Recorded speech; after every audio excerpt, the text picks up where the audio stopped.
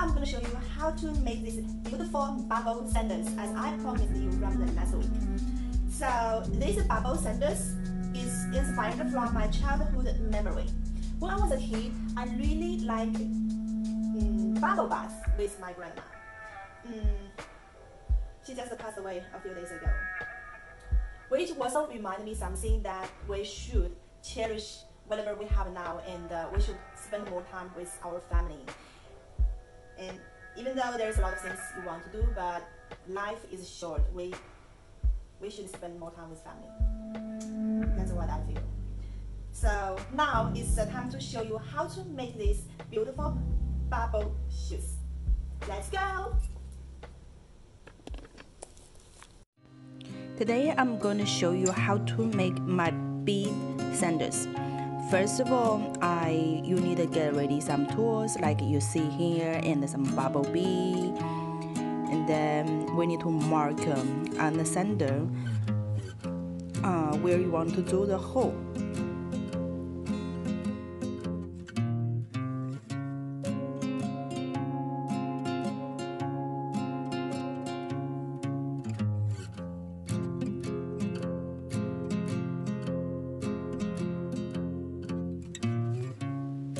Once you mark everything on this centerpiece, you use this tool to do the hole by your hand, one by one. I got this tool from Dollar Tree store.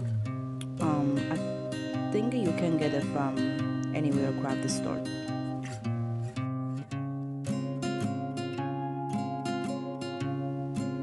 Then I cut uh, my front of the centerpiece so I can use that as my back part the, with the plastic one. And I'm keeping to mark the hole and then do the hole later on this too.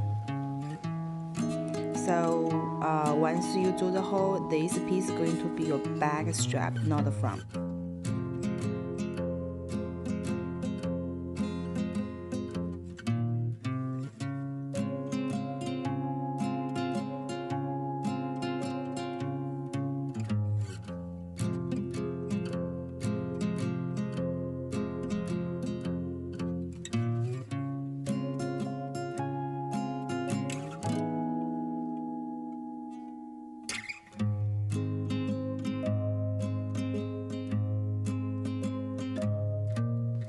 So I'm using uh, my needle to go through the hole one by one with the bead. So the bead size I use the 1.4 centimeter. The biggest one and our one is 1 centimeter and the middle size is 1.5 centimeter. You uh you can I use like three size different size bubbles so my sandal look like more cooler to me and you can use the same size if you want depend on your personal opinion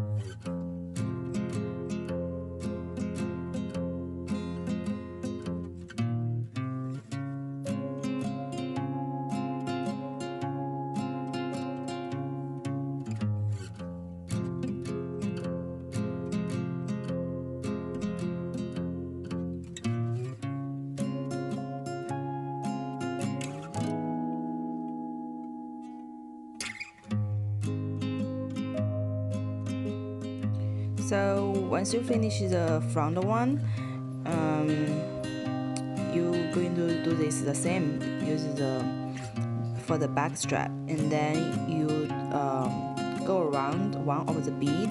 So we are going to make the front strap. Mm, not front sorry. I think the center strap. So this one I'm using um, just the, the bead and the, the thread I don't do the hole on that because uh, on the middle one it's easier.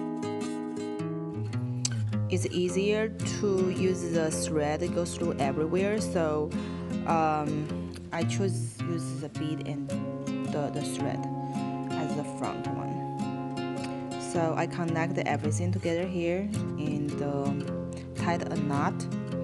Once you finish it mm, that's all so I will be the sender, almost done. Yeah, so excited.